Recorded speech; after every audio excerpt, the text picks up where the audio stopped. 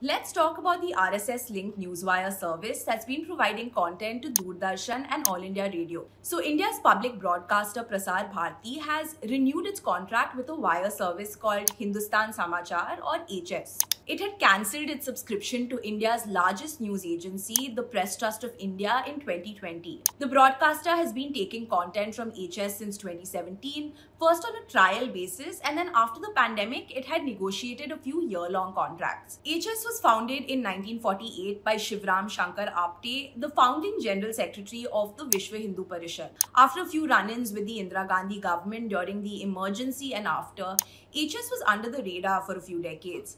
But in 2016, a massive revival plan was devised during an RSS conclave in Ujjain. Today, the news agency has 22 news bureaus and 600 correspondents across the country.